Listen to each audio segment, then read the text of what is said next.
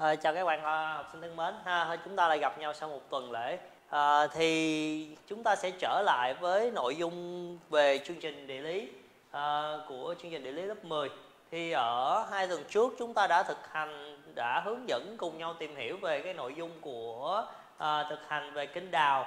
À, chúng ta đã hướng dẫn để xem nghiên cứu về cái cách tính về cái tốc độ tăng trưởng. Thì hôm nay chúng ta sẽ trở lại với cái một nội dung mới mẻ hơn à, à, về các ngành kinh tế à, vậy thì ở trong chương trình ở học kỳ 1 thì chúng ta đã biết cơ cấu của một nền kinh tế uh, của bất kỳ quốc gia nào vùng lãnh thổ nào ha, hoặc trên thế giới đều gồm chủ yếu gồm ba nhóm ngành. Hay chúng ta có thể nói là ba khu vực kinh tế khu vực 1, khu vực 2, khu vực 3 và cụ thể hơn đó là nhóm ngành nông lâm ngư nhóm ngành công nghiệp xây dựng và nhóm ngành đó là nhóm ngành về dịch vụ. À, vậy thì tùy cái cơ cấu của mỗi một quốc gia thì mỗi một nhóm ngành sẽ chiếm một cái tỷ lệ khác nhau. À, và trong đó đối với những quốc gia phát triển thì tỷ lệ của nhóm ngành công nghiệp và dịch vụ sẽ chiếm tỷ lệ rất là cao à, đóng góp một cái tỷ lệ lớn vào GDP và những quốc gia muốn thực hiện một cái bước chuyển mình từ đang phát triển trở thành một quốc gia à, công nghiệp mới và trở thành một quốc gia phát triển thì đều phải thực hiện qua một quá trình đó gọi là quá trình công nghiệp hóa đất nước. À, vậy thì cái ngành công nghiệp nó có vai trò lớn như thế nào đối với sự phát triển kinh tế của một quốc gia? Thì hôm nay chúng ta sẽ cùng nhau tìm hiểu về vai trò đặc điểm à, và các nhân tố ảnh hưởng đến sự phát triển của ngành công nghiệp đối với sự phát triển của một đất nước. À, vậy thì cấu trúc bài hôm nay của chúng ta phần thứ nhất chúng ta sẽ à, tìm hiểu về vai trò đặc điểm à, và phân loại của các nhóm ngành công nghiệp. À, thứ hai là các nhân tố ảnh hưởng đến sự phát triển và phân bố của công nghiệp. Được chưa?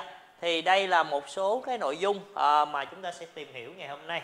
À, vậy chúng ta sẽ bước vào phần thứ nhất đó là vai trò của ngành công nghiệp.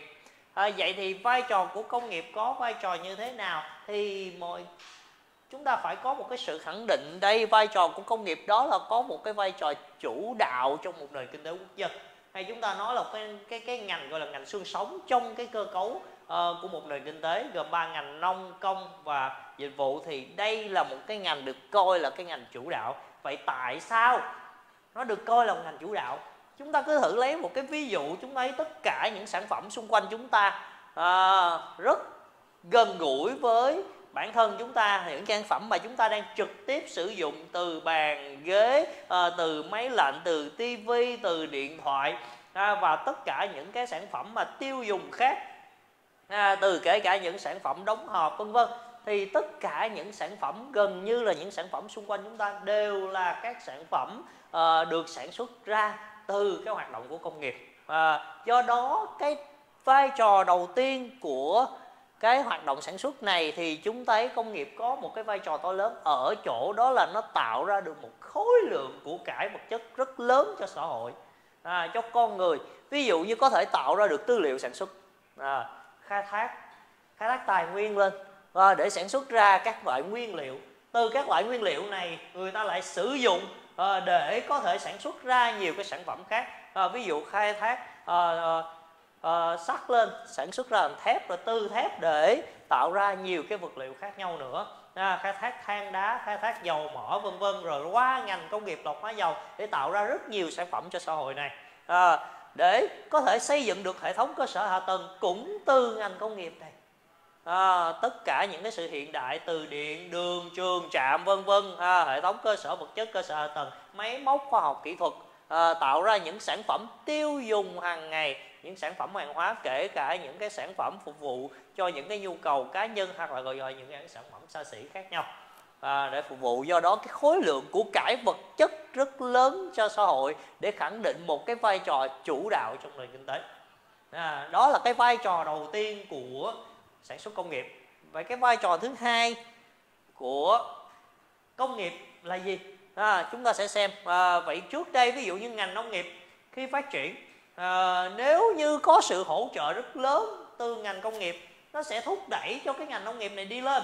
À, thay vì chúng ta phải cày à, bằng sức người sức lao động của con người à, của trâu bò vân vân thì bây giờ nếu như có sự phát triển của ngành công nghiệp à, có thể hỗ trợ rất tốt cho à, cái ngành nông nghiệp này ví dụ như là máy cày. À, trước đây chúng ta phát triển nếu những cái vùng đất khó khăn khô cằn không thể phát triển không thể uh, phải cải tạo rất là khó khăn. Thì bây giờ có những phân bón uh, có những cái loại uh, thuốc uh, hóa học vân vân à, để hỗ trợ để thúc đẩy cái sản phẩm nông nghiệp chúng ta tốt hơn cải tạo những vùng đất thuận tiện hơn hoạt động trong nông nghiệp sẽ nhẹ nhàng hơn nhanh chóng hơn. Ví dụ chẳng hạn như là hệ thống tưới tự động rồi giờ tưới nhỏ giọt nó giúp tiết kiệm được tài nguyên tiết kiệm được nguồn nước vân vân à, cải tạo đất được tốt hơn à, thúc đẩy cho cái hoạt động nông nghiệp này để phát triển. Vậy không chỉ có trong nông nghiệp vậy công nghiệp nó còn thúc đẩy trong dịch vụ không? À, trong các hoạt động sản xuất khác hay không? Hoặc là trong các ngành nghề khác hay không? À, ví dụ chẳng hạn như chúng thấy à, trước đây à, vận vận tải hoạt động giao thông vận tải của ngành dịch vụ. À, khi mà khoa học kỹ thuật phát triển công nghiệp phát triển à, ra rất nhiều vật liệu mới à, à, phương tiện vận tải được nhanh chóng hơn. À, thúc đẩy hoạt động dịch vụ phát triển thúc đẩy hoạt động giao thương à, thúc đẩy hoạt động du du lịch à, như vậy thì hoạt động giao thông vận tải hoạt động du lịch à, phát triển nhiều thứ hoạt động dịch vụ trao đổi hàng hóa buôn bán kể cả ví dụ như chẳng hạn công nghiệp tạo ra những cái hệ thống thông tin liên lạc mà chúng ta đang sử dụng hiện nay. À, đặc biệt là tác động rất lớn vào đời sống xã hội của con người chúng ta ví dụ như là hệ thống mạng xã hội. À, không chỉ thúc đẩy sự giao lưu về văn hóa thúc đẩy sự gắn kết giữa con người với con người thúc đẩy hoạt động thương mại ví dụ như những trang giao dịch thương mại điện tử à, nó giúp chúng ta hoạt động một cách dễ dàng hơn. Như bây giờ chúng ta không sử dụng tiền mặt chúng ta có thể sử dụng những cái loại đồng tiền điện tử thanh toán à, những tài khoản chuyển khoản quốc tế rất là hiện đại nhờ sự phát triển của ngành công nghiệp này. Bên cạnh đó à, hoạt động của về an ninh quốc phòng cũng được củng cố. À, với những cái phương tiện à, à, với sự phát triển hiện đại của công nghiệp ha. À, một ngành sản xuất chúng ta gọi là công nghiệp sử vũ khí à, cũng đem lại một cái lợi nhuận rất lớn cho một số quốc gia. À, ví dụ chúng ta tiêu biểu ví dụ như Hoa Kỳ là một quốc gia mà có cái cái cái, cái công nghiệp mà sản xuất về bán vũ khí rất lớn à, và đem lại một cái lợi nhuận kinh tế hàng năm cho cho đất nước này. À, và các quốc gia cũng à, sự phát triển công nghiệp đó à, sẽ trang bị những cái khí tài để nhằm củng cố cái cái vấn đề an ninh quốc phòng của mình à, đương nhiên nếu ờ, thực hiện nếu không vì một mục tiêu hòa bình thì đương nhiên cái này chúng ta sẽ thấy nó có những cái tác động tiêu cực nó gây ra những cái cái hệ quả về chiến tranh. À, gây ra những cái đau thương những mất mát do chiến tranh để lại. À, như vậy thì chúng ta thấy vai trò thứ hai của công nghiệp ngoài cái việc mà tạo ra một khối lượng của cải vật chất rất lớn thì công nghiệp lại có một cái vai trò đó nó là sẽ thúc đẩy được sự phát triển của tất cả các ngành kinh tế khác nhau. Nhanh hơn hiện đại hơn à, mạnh mẽ hơn. Được chưa? Nông nghiệp dịch vụ à, công nghiệp xây dựng à, cơ từ và an ninh quốc phòng à, đều nhờ sự phát triển của ngành công nghiệp này để được đẩy nhanh lên một cách nhanh chóng. Được chưa? Thì đó là cái vai trò thứ hai trong cái quá trình uh, của ngành công nghiệp à. rồi tiếp theo chúng ta sẽ cùng với thầy theo dõi à, đây là ví dụ ở đây chúng ta sẽ có một cái bản đồ. À, bản đồ có các loại khoáng sản và một số cái chi tiết khác. Được chưa? Thì à, chúng ta sẽ thấy à, ví dụ như với nguồn tài nguyên à, than sắt ở khu vực phía bắc rất là nhiều.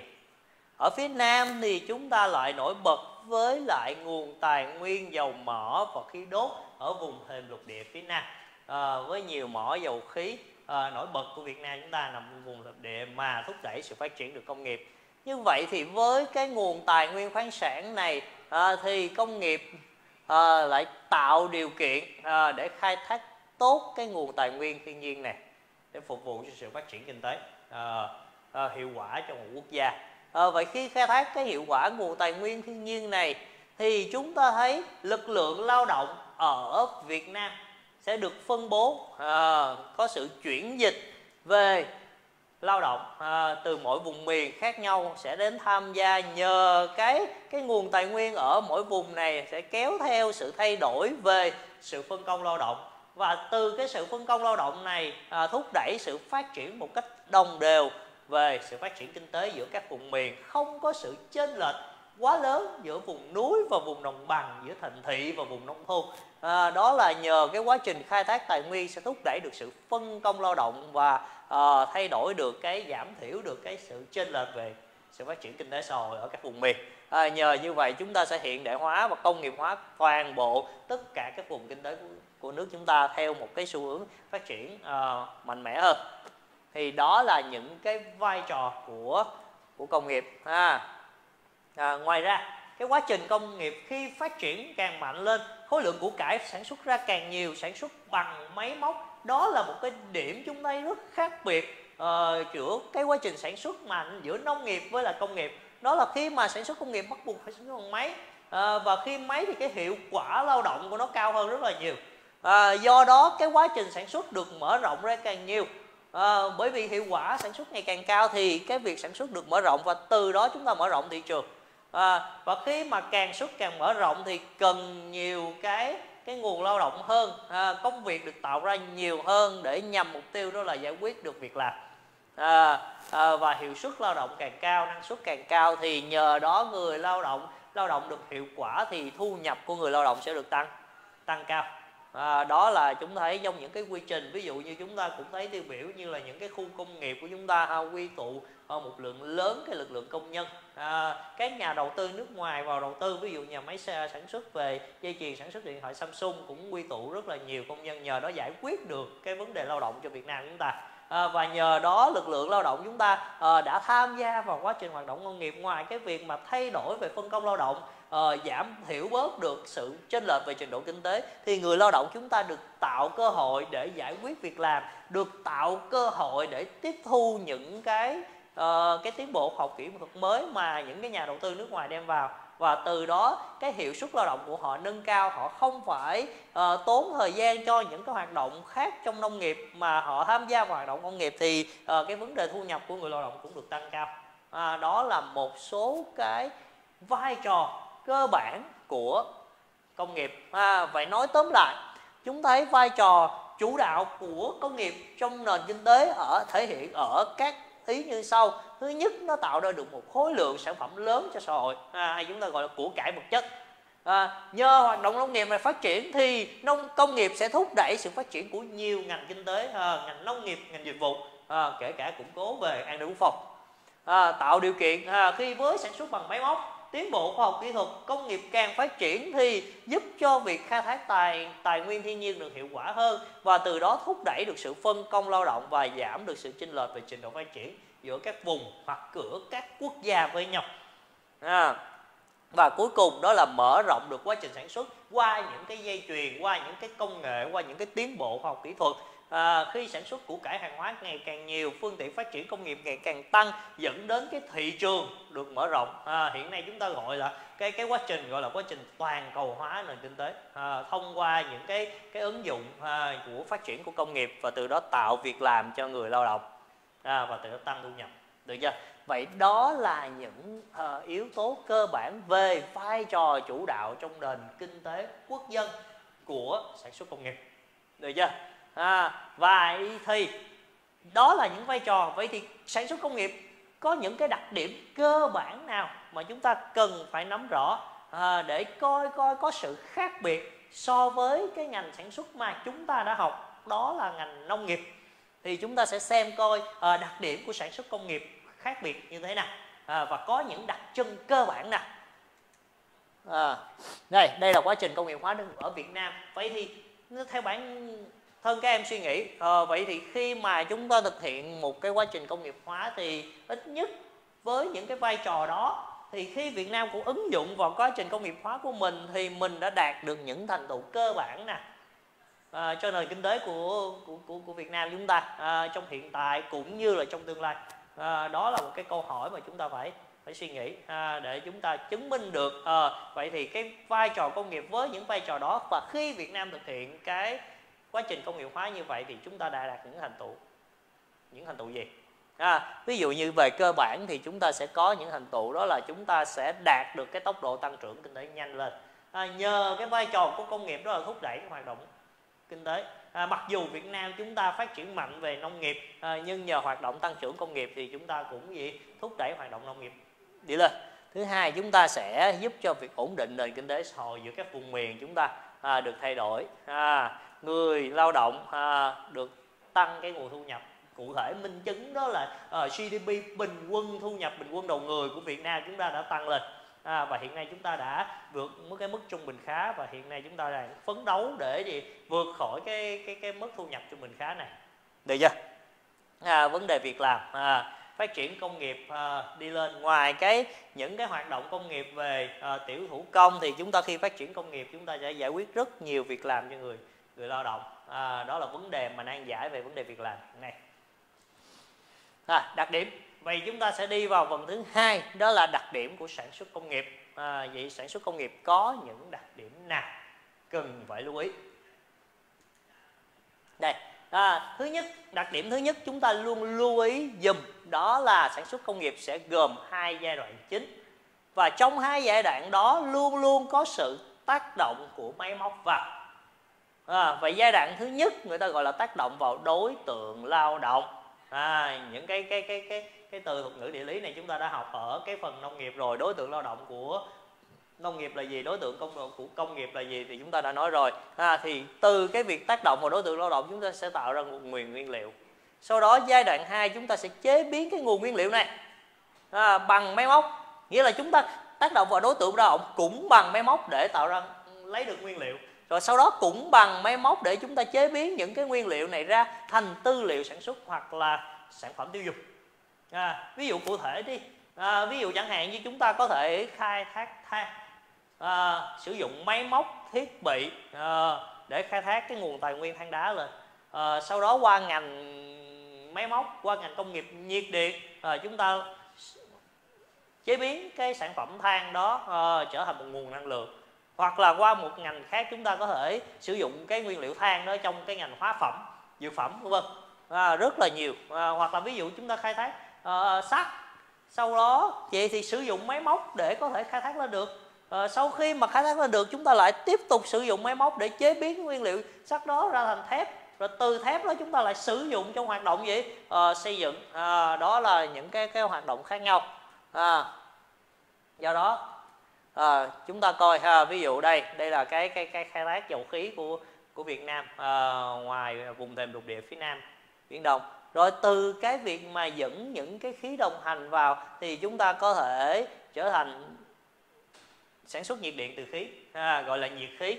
À, hoặc có thể đưa vào những cái nhà máy sản xuất mà phân bón phân đạm ví dụ nhà máy khí điện đạm à, Cà Mau à, bền Bình vân vân.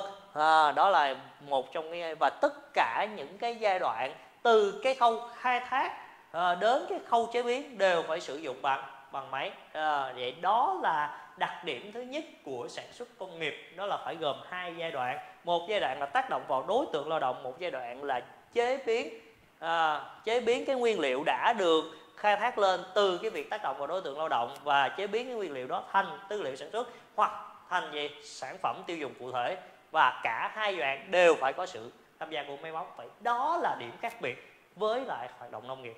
À, bởi vì hoạt động công nghiệp phải sử dụng bằng máy. À. rồi đặc điểm thứ hai. À, vậy đây chúng ta sẽ sẽ xem. À, đây là một cái khu công nghiệp. Trong đây có rất nhiều nhà máy. À, đây là những người công nhân tham gia vào uh, quá trình uh, của một khu công nghiệp uh, một nhà máy sản xuất công nghiệp vân vân. À, tất cả những tư liệu sản xuất sản phẩm à, các nhà máy xí nghiệp sự chuyên môn hóa à, được tập trung vào một khu vực. À, vậy à, chúng thấy tư liệu sản xuất nhân công và sản phẩm được tập trung vào khu vực nghĩa là một khu vực đó được à, tập trung vào những cái vật liệu à, tập trung vào các máy móc nhà xưởng đưa nhân công vào trong khu công nghiệp này à, để tham gia vào hoạt động lao động sản xuất và tạo ra sản phẩm cụ thể trong một cái khu công nghiệp này luôn. Được chưa? Vậy thì trên một cái quy mô diện tích nhất định à, đây là một cái khu công nghiệp à, nó có một cái ranh giới rõ ràng cụ thể. Chúng ta sẽ học được những cái hình thức tổ chức lãnh thổ công nghiệp ở ở phần sau. À, nhưng mà rõ ràng là chúng ta thấy trên một cái diện tích nhất định đây của một khu công nghiệp nó có ranh giới rõ ràng tách biệt khỏi khu dân cư. À, có nhiều nhà máy với mức độ chuyên môn hóa khác nhau thì nhiều lao động sẽ uh, lao động trong khu vực này để tạo ra một khối lượng của cải vật chất lớn. À, vậy thì đặc điểm thứ hai của sản xuất công nghiệp có đặc điểm gì thông qua hai cái minh chứng này? Đó là uh, có tính tập trung rất là cao tập trung từ nhân công tập trung từ tư liệu sản xuất đến tập trung về uh, loại hình chuyên môn hóa uh, tập trung về cả mức độ về các sản phẩm được tạo ra từ khối lượng của cải vật chất được tạo ra. À, như là chúng ta thấy đây là một cái nhà máy sản xuất về điện tử. À, các nhân công à, tư liệu sản xuất máy móc này họ tập trung vào trong khu vực. À, và quy mô chúng ta nhìn trên tổng thể ở trên cao thì chúng thấy à, các nhà máy với mức độ khác nhau họ được tách biệt ra. Vậy đó là đặc điểm à, thứ hai của sản xuất công nghiệp đó là có tính tập trung cao. À, à, chúng ta đi đến phần tiếp theo. Vậy tầng tiếp theo của đặc điểm sản xuất công nghiệp đó là gì? À, đây chúng ta sẽ thấy những cái mô hình à, sự phối hợp giữa máy móc và con người chia ra từng giai đoạn những khâu phân công rất là rõ ràng cụ thể. Thì chúng ta đã biết à, ví dụ như chúng ta lấy một cái sản phẩm công nghiệp nào đó ví dụ một cái điện thoại ví dụ iPhone chẳng hạn à, một cái MacBook hay là vân vân một cái sản phẩm nào đó thì hoặc là kể cả một chiếc máy bay à, là một sản phẩm công nghiệp một chiếc xe à, xe ờ, ô tô. Thì chúng thấy một sản phẩm này không phải à, bây giờ với cái mức độ cho dù là chuyên môn hóa thì chúng ta thấy mức độ chuyên hóa trong sản xuất công nghiệp thì một sản phẩm không phải một quốc gia hay là một à, một người nào đó làm ra mà nó được phối hợp của nhiều nhiều khâu. À, ví dụ chẳng hạn như chiếc Boeing của Liên minh châu Âu thì có nhiều quốc gia mỗi quốc gia sẽ chuyên môn hóa một sản phẩm. À, có sự phối hợp với nhau uh, kể cả máy móc với lại gì? Với lại con người. Sự phối hợp này phải rất rõ ràng chặt chẽ. Bởi vì chỉ cần một khâu mà là gì? Uh, mà bị lỗi là tất cả sản phẩm khác sẽ bị lỗi. Hoặc uh, cái khâu đầu tiên bị lỗi thì những cái khâu tiếp theo không thực hiện được.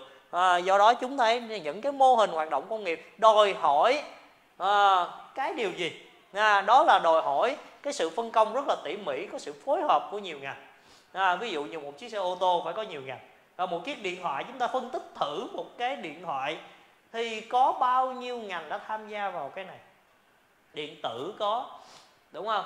À, những cái sản phẩm hóa chất có sơn mặt kính à, các con chip vi mạch à, hệ thống phần mềm ờ, à, iOS mà đã ứng dụng vào trong điện thoại hệ thống camera vân vân. À, rất là nhiều một chiếc ô tô một chiếc máy bay cũng vậy.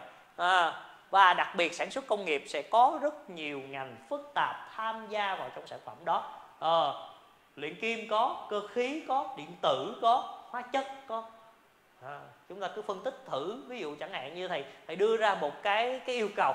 À, bây giờ em hãy phân tích một cái chiếc điện thoại à, à, mà chúng ta hay sử dụng. Thì có bao nhiêu ngành công nghiệp đã à, tham gia thực hiện để tạo nên cái sản phẩm cụ thể này? Sau khi chúng ta đã học tiết ừ, tiết sau chúng ta sẽ học các ngành công nghiệp. Thì sau khi học xong chúng ta sẽ phân tích thử. Được chưa? À, đó đây là một cái cái quy trình à, chúng ta à, vậy đây là ba đặc điểm cơ bản của sản xuất công nghiệp. Thứ nhất gồm hai giai đoạn.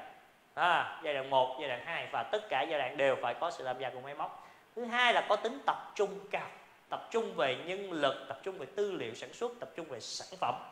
À, thứ ba sẽ có nhiều ngành phức tạp tham gia vào trong một công đoạn sản xuất ra một cái sản phẩm cụ thể ha mỗi một công đoạn được phân công tỉ mỉ và phải có sự phối hợp với nhiều ngành phối hợp rất là chặt chẽ. À, bây giờ chúng ta sẽ xem thử một cái đoạn clip về sản xuất về về một chiếc ừ, xe ô tô. Thì chúng ta sẽ thấy uh, sẽ có mỗi một khâu mỗi một bộ phận sẽ sản xuất ra từng chi tiết khác nhau có sự phối hợp giữa những cái nào mà máy móc thực hiện một cách chính xác có cái nào có sự phối hợp của con gì con người à, mời các bạn cùng cùng cùng xem ờ, một cái ờ, đoạn clip với thầy ha.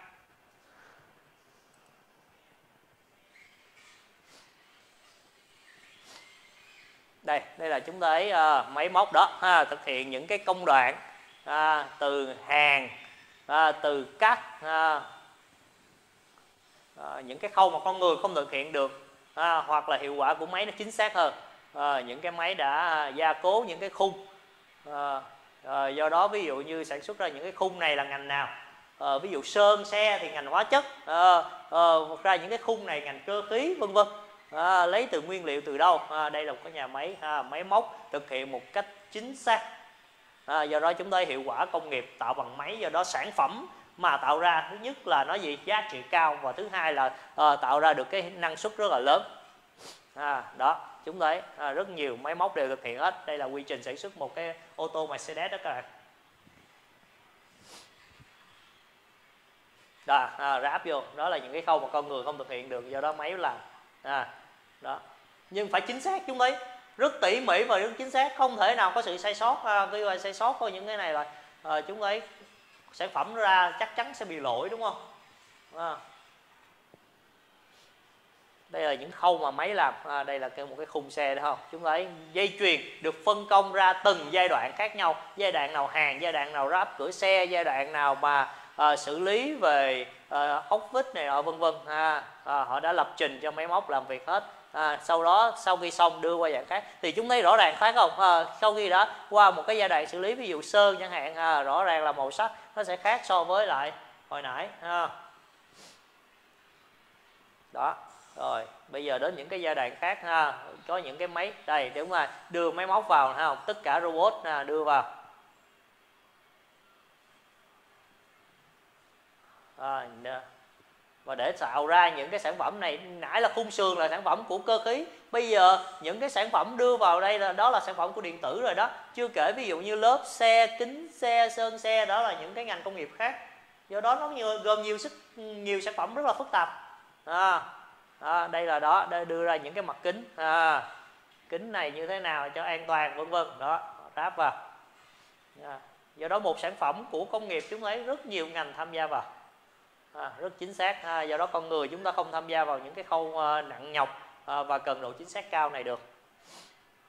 Nhưng con người sẽ đóng một cái vai trò cuối cùng ở cái khâu cuối cùng đó họ kiểm tra hoặc vận hành. À, đây lúc này chúng ta à, đến cái giai đoạn này là con người ha với sự hỗ trợ của máy móc à, đã tham gia vào những những cái khâu mà máy móc không thực hiện được. À, đó à, vẫn phải có sự tham gia của bàn tay con người vào. À, mỗi một người có sự chuyên môn ha có à, những người sẽ làm cái khâu nào ha. Đây này chúng ta thấy không? À, kể cả việc chỉ có gắn một cái cái cái à, logo vào thôi cũng có một bộ phận chuyên trách riêng. À đó những à, kỹ sư này đã kiểm tra cái vấn đề việc gì? À, riêng hết phân công rất rõ ràng tỉ mỉ. À, không người nào mà làm thay người nào được hết. À, họ đã được chuyên môn hóa. Đó là sự khác biệt của uh, sản xuất công nghiệp và và nông nghiệp với nhau. À, đây à, một khâu người ta sẽ kiểm tra. À,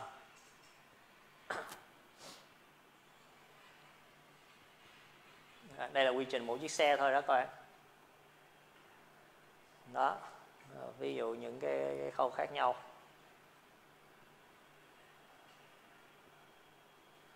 À, họ có sự hỗ trợ máy ha? Đó, khi sản phẩm gần như đây là sản phẩm đã được uh, khâu những khâu cuối cùng rồi ha? À, khi sản xuất đồng loạt ha? Đó à, kể cả những cái bộ phận của những người mà à, đưa ra kiểm tra sản phẩm cuối cùng. À, mỗi người có một cái nhiệm vụ khác nhau. Đó đó à, kiểm tra đó. À, kiểm tra vận hành vân vân.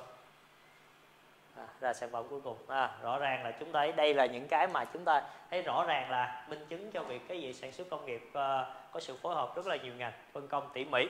À, vậy thì sản xuất công nghiệp trong ngành công nghiệp chúng ta sẽ phân ra cơ cấu ngành công nghiệp như thế nào sẽ phân loại như thế nào?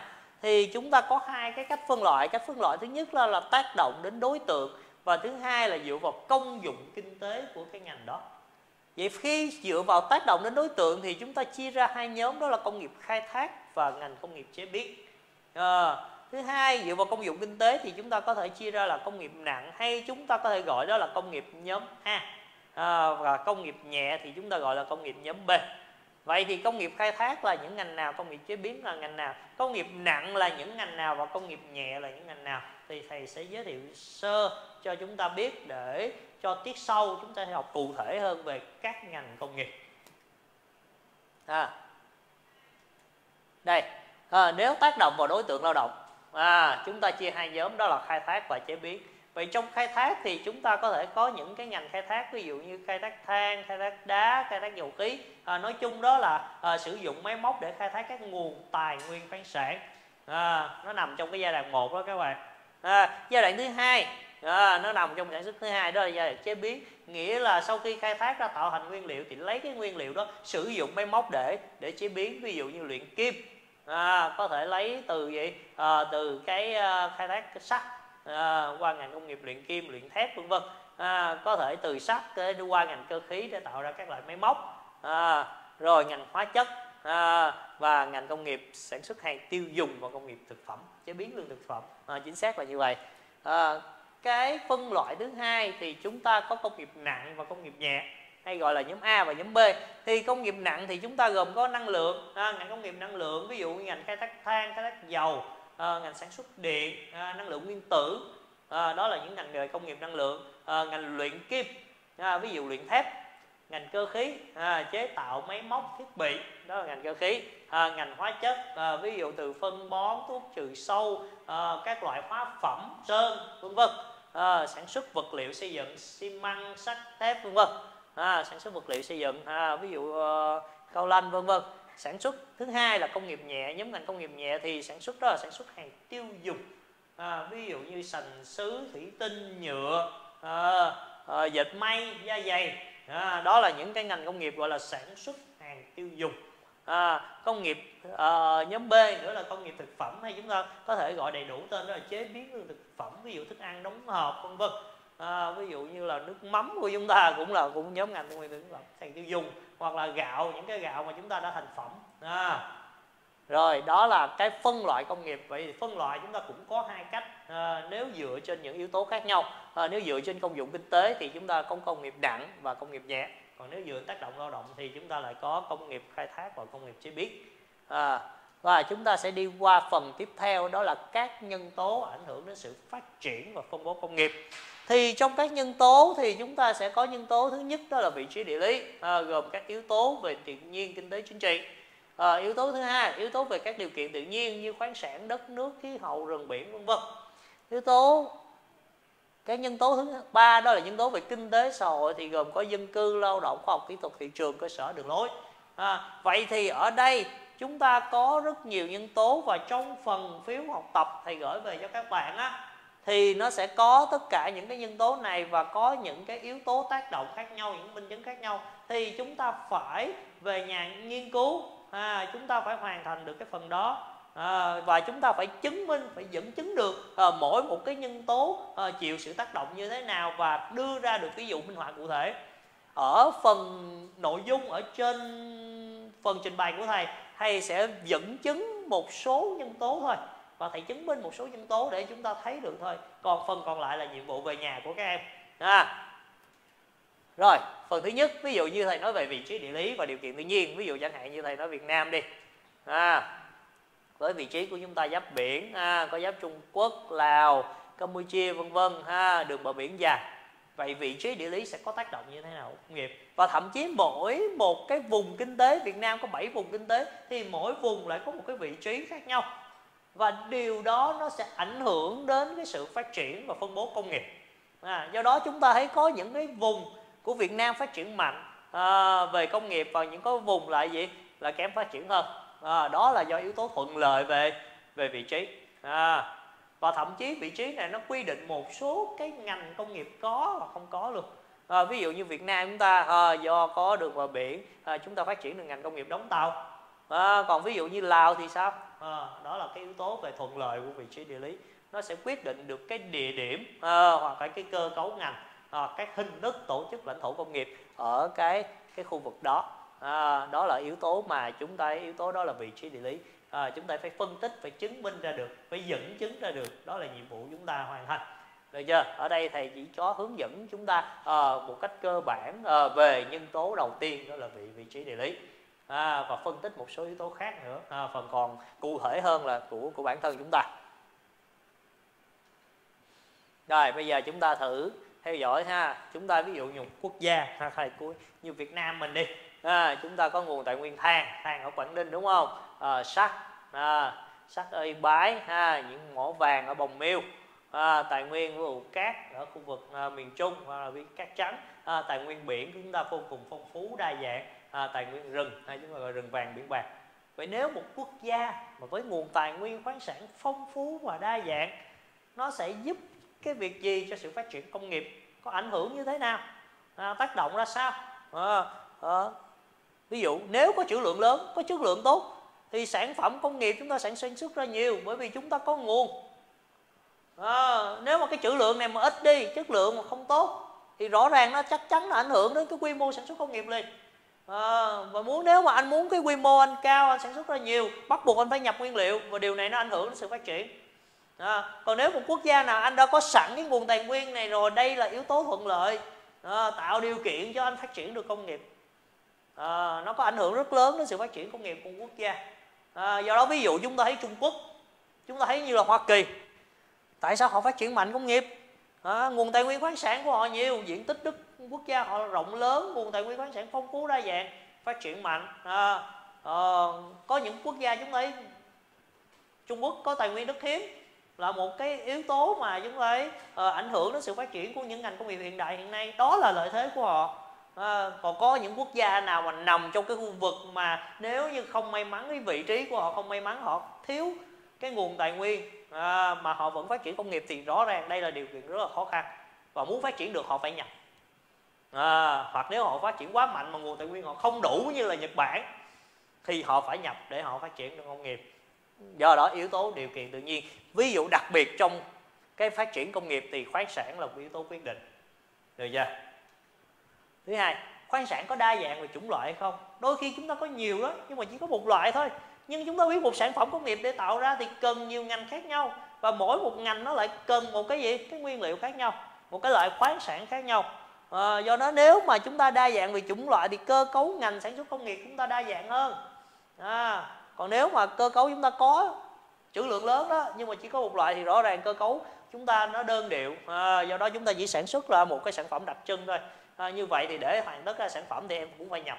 Điều đó nó sẽ khó khăn. À, như vậy yếu tố khoáng sản có ảnh hưởng đến sự phát triển của công nghiệp và phân bố công nghiệp. Ví dụ như vùng nào có than? Vùng đó phát triển ngành nào? Vùng nào có dầu phát triển ngành nào? Ở vùng nào có cát phát triển ngành nào?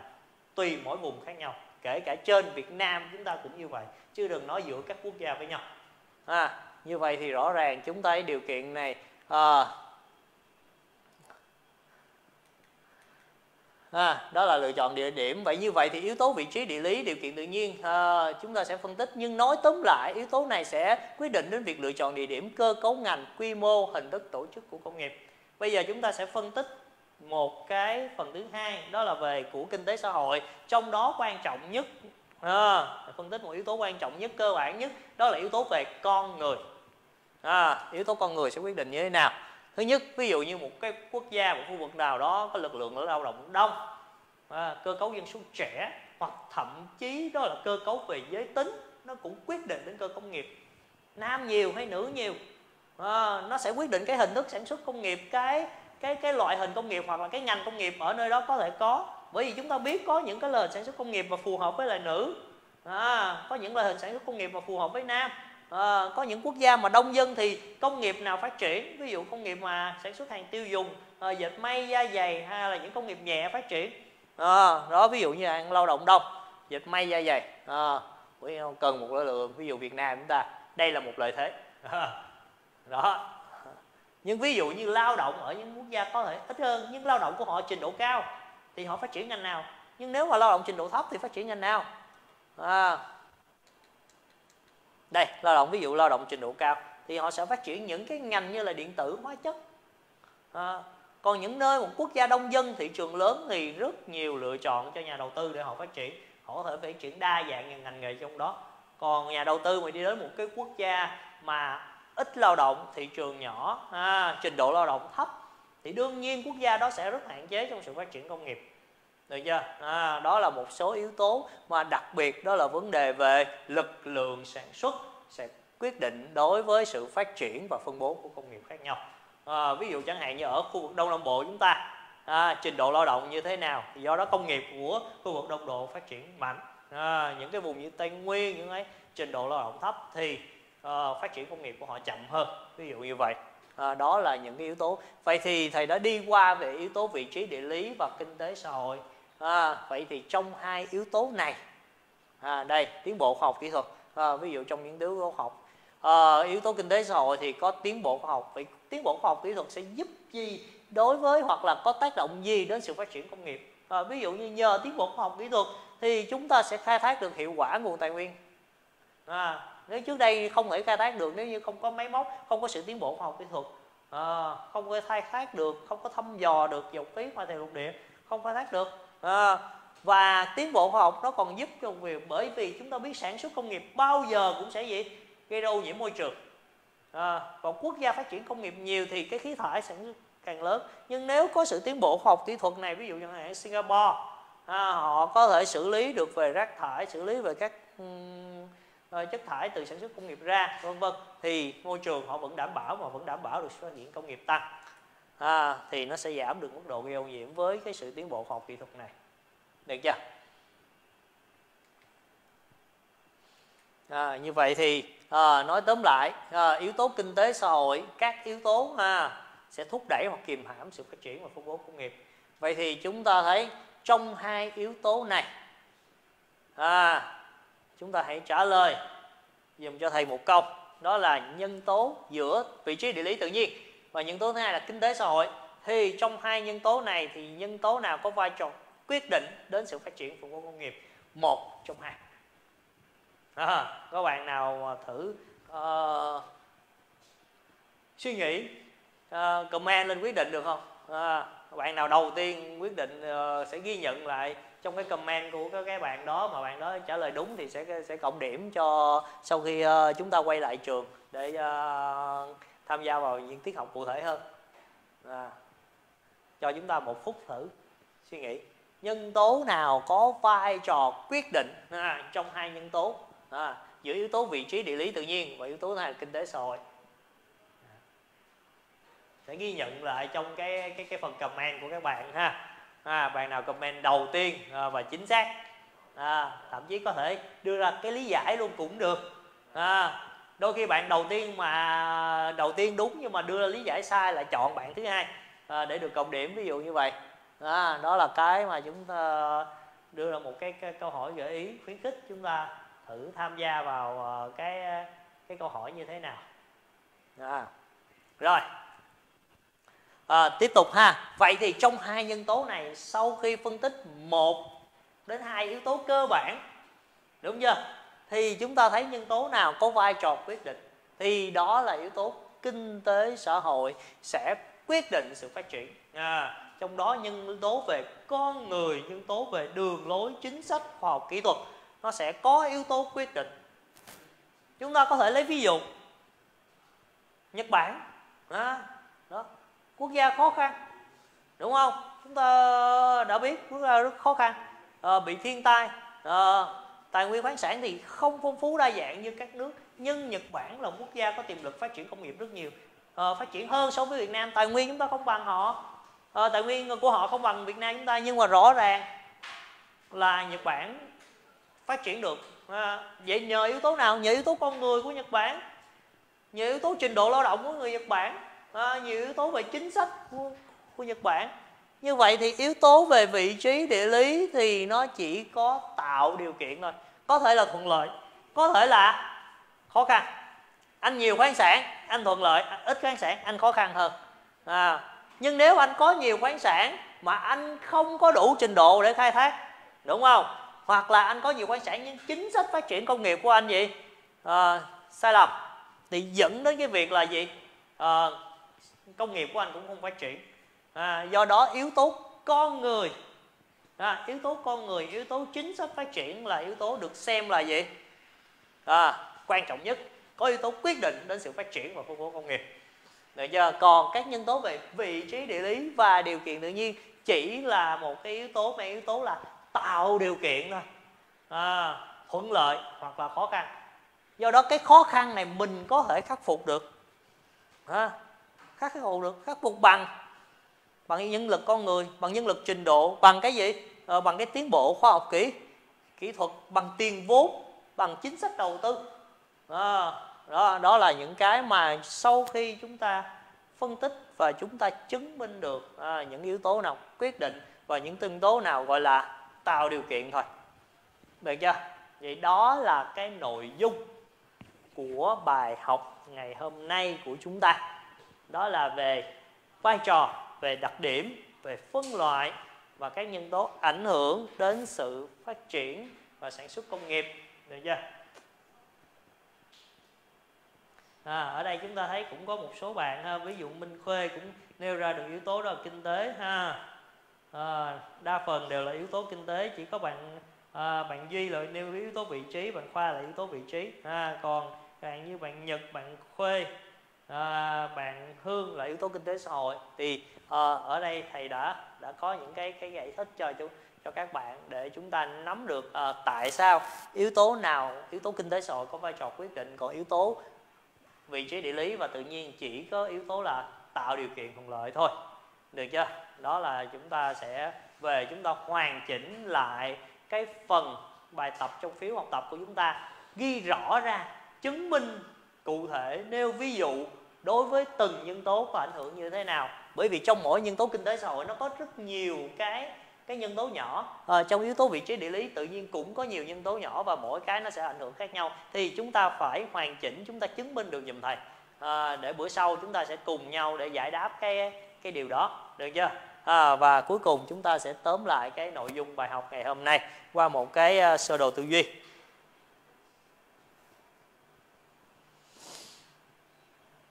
À, vai trò đặc điểm của phân loại của công nghiệp. Thì thứ nhất vai trò đó là vai trò chủ đạo trong nền kinh tế quốc dân. Bởi vì sao? Nó tạo ra khối lượng sản phẩm rất là lớn. À, thứ hai thúc đẩy nhiều ngành nông nghiệp dịch vụ phát triển. Thứ ba là khai thác hiệu quả tài nguyên để thúc đẩy lại sự phân công lao động và à, tạo ra nhiều việc làm. À, đặc điểm thì có đặc điểm nào? À, thứ nhất hai giai đoạn à, và hai giai đoạn này đều phải sử dụng đến máy móc. Có tính tập trung cao tập trung về tư liệu tập trung về nhân lực và sản phẩm. À, và trong giai đoạn sản xuất thì bắt buộc phải có sự phối hợp với nhau. Phân loại chúng ta có hai cách phân loại. À, tác động đến đối tượng có khai thác và chế biến. À, công dụng kinh tế có công nghiệp nặng công nghiệp nhẹ hay gọi là nhóm A và nhóm B. Các nhân tố ảnh hưởng thì chúng ta có hai nhân tố vị trí địa lý điều kiện tự nhiên à, nhân tố thứ hai là kinh tế và xã hội. Thì nhân tố này nhân tố vị trí sẽ lựa chọn địa điểm quy mô à, tạo điều kiện đến sự phát triển gây khó khăn. Chứ chưa có yếu tố quyết định. Còn nhân tố kinh tế xã hội sẽ có ảnh hưởng như thế nào? Đó là thúc đẩy hoặc kiềm hãm sự phát triển công nghiệp. À, và nhân tố này là nhân tố quyết định đến sự phát triển và phân bố công nghiệp. À, vậy đó là toàn bộ nội dung của bài học ngày hôm nay à, nếu các bạn có vấn đề nào thắc mắc có thể comment à, à, thầy sẽ giải đáp cho các bạn. À, và nội dung về trà của chúng ta là hoàn thành phiếu học tập. Và trong phần hoàn thành phiếu học tập của mình mình phải nêu ra được những minh chứng dẫn chứng ví dụ cụ thể về từng nhân tố à, con trong yếu tố của nhân tố vị trí địa lý tự nhiên và nhân tố con của kinh tế xã hội có tác động như thế nào đến sự phát triển phân bố công nghiệp và có ví dụ dẫn chứng cụ thể giùm thầy. Được chưa? Hẹn gặp lại các bạn trong tiết học của tuần sau. À, chào các bạn.